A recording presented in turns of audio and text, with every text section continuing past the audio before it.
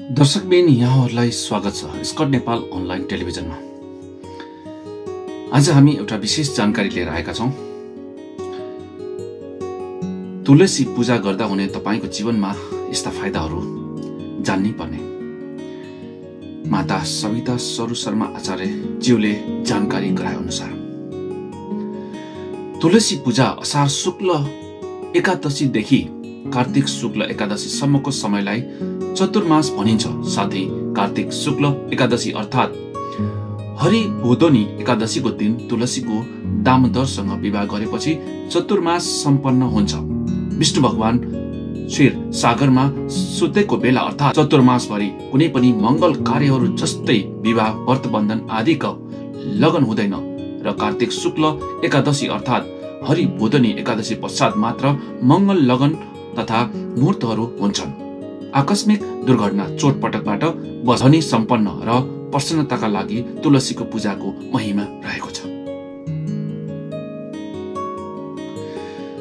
तुलसीको सेवन गर्दा ध्यान दिनुपर्ने महत्वपूर्ण कुरा यसको पातलाई कहिले पनि दाँतले चपाउनु हुँदैन र सिधै निल्नु पनि उत्तम मानिन्छ र यसरी तुलसीको पातको सेवन गर्दा धेरै रोगहरूबाट मुक्ति पाउने विश्वास गरिन्छ। तुलसीको पातमा पारा धातु भन्ने तत्व रहेको हुँदा यसलाई रोग विनाशक मानिन्छ। यदि यसको पात दाँतले चपाएर निलेको खण्डमा दाँतको लागि भने हानिकारक मानिन्छ। त्यसैले पनि पात नचपाई सर्लक्क निल्नु नै उचित मानिन्छ। शिव पुराणमा उल्लेख भए अनुसार शिवलिङ्गमा कहिले पनि तुलसीको पात चढाउनु हुँदैन र यसको बारेमा एउटा कथा कोरिएको छ। कथाको अनुसार सत्य युगमा दानव राजा शङ्ख चुडकी धर्मपतिको नाम तुलसी थियो र तुलसीको पतिव्रत धर्मको शक्तिका कारण सबै देवी देवता शङ्खचुण्डलाई हराउन असमर्थ थिए। त्यही कारण भगवान विष्णुले छल गरेर तुलसीको प्रतिव्रत धर्म भङ्ग गरिदिएपछि त्यसपछि भगवान शिव शङ्खचूडलाई वध गर्न सफल भए। जब यो रहस्य तुलसीलाई थाहा भयो तब उनले भगवान विष्णु ढुङ्गा अर्थात् पत्थर र झार हुने श्राप दिइन्। त्यो श्रापलाई स्वीकार गरेर भगवान विष्णु नेपाल र विशेष गण्डकी क्षेत्रमा रहनु भएको विश्वास गरिन्छ।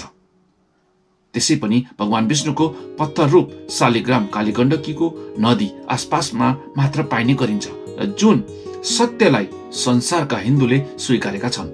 अर्को श्राप झार हुनु परोस् भनेर दिएपछि भगवान विष्णु तुलसीको वृक्ष बनेर रहनु भएको विश्वास गरिन्छ। यसपछि अधिकांश पूजा आजामा तुलसीको उपयोग विशेष रूपमा गरिन्छ तर शङ्खचूडको पत्नी भएको कारण तुलसीको पात शिवलिङ्गमा भने कहिले पनि चढाइँदैन।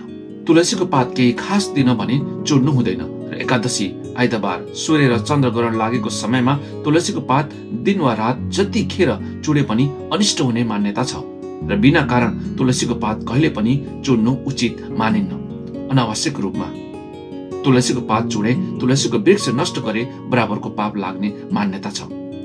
हरेक दिन तुलसीको पूजा गर्नु उत्तम र लाभदायी मानिन्छ र हरेक साँझ तुलसीको मठमा दियो जलाउनु पर्छ भन्ने मान्यता समेत रहि आएको छ र यसो गर्दा माता लक्ष्मीको कृपा सदैव रहने विश्वास छ। तुलसी लगाउनाले घरको वास्तु दोष हट्ने विश्वास गरिन्छ। र घर आँगनमा तुलसी लगाउँदा वास्तु दोष समाप्त भएर जाने विश्वास गरिन्छ। तुलसी रोप्नाले परिवारको आर्थिक स्थितिमाथि पनि शुभ प्रभाव पर्ने मान्यता छ।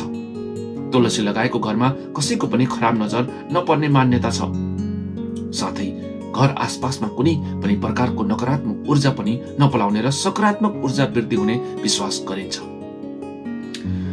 तुलसी लगाइएको घर वरपरको वातावरण पनि पवित्र हुने मान्यता छ र तुलसी लगाउनाले हानिकारक सूक्ष्म कीटाणुहरूले पनि घरमा बास पाउँदैनन्। यही पवित्रताले यही पवित्रताले घरमा माता लक्ष्मीको बास सहज हुने विश्वास गरिन्छ जसको कारण घरको सुख र समृद्धिमा वृद्धि हुने मान्यता चलिआएको छ। घरमा भएको तुलसीको मठमा तुलसीको वृक्ष केही कारण सुकेको खण्डमा त्यसलाई घरमा राख्नु उचित मानिन्न। तुलसीको वृक्ष सुकेको खण्डमा त्यसलाई पवित्र नदी तथा तलाउमा प्रवाहित गरिदिनु पर्छ। तुलसीको सुकेको वृक्ष राख्ने घरमा अशुभ हुने मान्यता छ। तुलसीको वृक्ष सुकेको खण्डमा अर्को स्वस्थ वृक्ष राख्ने सुझाव शास्त्रमा दिएको छ। आयुर्वेदमा तुलसीलाई औषधि अर्थात् सञ्जीवनी बुटी समान मानिएको छ। तुलसीमा पाइने यस्ता धेरै गुणहरू छन् जसले धेरै बिमारीहरूलाई टाढा राख्न सहयोग गर्छ र धेरै रोगहरूका लागि प्रतिरोधात्मक क्षमता तुलसीको पातमा हुन्छ। तुलसीको वृक्ष घरमा लगाउनाले तुलसीको बास्ना हावामा फैलिँदा बिरामी फैलाउने धेरै किटाणुहरू यसको क्षमताले नष्ट हुन जान्छन्। विशेष दिन बाहेक अन्य कुनै विशेष दिन बाहेक अन्य दिन चुडेर राखेको तुलसीको पात हरेक दिन सेवन गर्दा श्वास प्रशासनसँग सम्बन्धित सबै रोगहरूबाट छुटकारा पाइने मान्यता छ। तुलसीको पात सेवन गर्दा बिरामी हुनबाट बच्न सकिन्छ भने मौसम परिवर्तनबाट हुने बिमारहरूबाट पनि बच्न सकिन्छ। तुलसीको पातमा हुने औषधीय गुणले मानिसको शरीरमा हुने रोग प्रतिरोधात्मक शक्तिलाई थप बढाउने हुँदा हरेक दिन तुलसीको पात सेवन गर्न उत्तम मानिन्छ।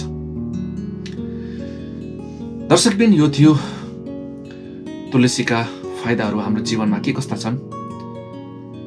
यो जानकारी यो विशेष ज्ञान हामीलाई माता सविता स्वरूप शर्मा जीको वालबाट प्राप्त भएको।